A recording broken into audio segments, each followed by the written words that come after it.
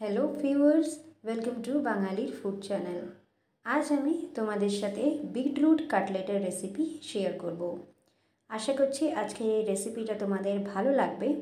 যদি ভালো লাগে, তাহলে অবশ্য করে ভিডিওটা লাইক করে দিও আর আমার চ্যানেলটাকে সাবস্ক্রাইব করে সবসময় আমার পাশে থেকো। বিটরুট কাটলেট বানানোর জন্য একটা কড়াইতে সবচেয়ে প্রথমে আমি একটু সাদা তেল নিয়ে নিলাম। আর বিটরুটগুলোকে আমি গ্রেট করে নিয়ে নিয়েছি। এবার তেলের মধ্যে গ্রেট করে রাখা বিটরুটটা দিয়ে দিলাম আর প্রায় দু থেকে তিন মিনিট হালকা একটু ভেজে নেব। তাই এখানে দেখো বন্ধুরা, প্রায় দু থেকে তিন মিনিট বিটরুটটাকে এইভাবেই একটু নাড়াতে নাড়াতে ভেজে নিতে হবে।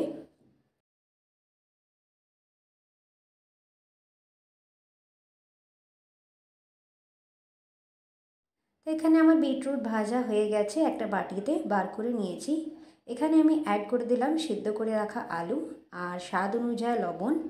এছাড়াও আমি এখানে অ্যাড করলাম ওয়ান স্পুন ধনে গুঁড়ো ওয়ান স্পুন এখানে কাশ্মীরি গুঁড়ো লঙ্কাটাও দিয়ে দিলাম, তাতে কালারটা খুব ভালো আসবে।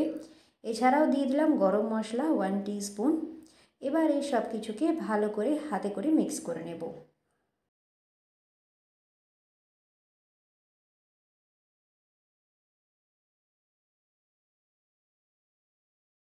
তো এখানে দেখো ভালো করে মিশ্রণটা আমি তৈরি করে নিচ্ছি। এবার কাটলেটগুলো বানিয়ে একে একে গরম তেলে দিয়ে দেব। তা কাটলেটগুলো ঠিক যেমন নর্মাল কাটলেট হয় বা আলু টিক্কি হয়, সেরকম ধরনেরই চ্যাপটা চ্যাপটা করে গরম তেলে দিয়ে দিতে হবে। আমি কোনো রকমের কোটিং করিনি, তোমরা চাইলে ব্রেড ক্রামস দিয়ে কোট করে তারপরেও ভেজে নিতে পারো। আমি একদম সাধারণভাবেই বানাচ্ছি। যাতে বাড়িতে বাচ্চা থেকে বড় সবাই এটা এনজয় করতে পারে। তা দেখবে এইভাবে বানিয়ে খেলে খুবই হেলদি থাকে আর খুবই টেস্টি হয় খেতে। একবার অবশ্যই ট্রাই করে দেখো। তা আমার এখানে কাটলেটগুলো তৈরি হয়ে গেছে। গরম গরম একটা প্লেটে বার করে নিচ্ছি। সসের সাথে পরিবেশন করা যেতে পারে। তাহলে বন্ধুরা, আজকের মতন বিদায় নিয়ে নিচ্ছি। দেখা হবে খুবই তাড়াতাড়ি আরও একটা নতুন রেসিপির সাথে। ততক্ষণ তোমরা ভালো থেকো, সুস্থ থেকো।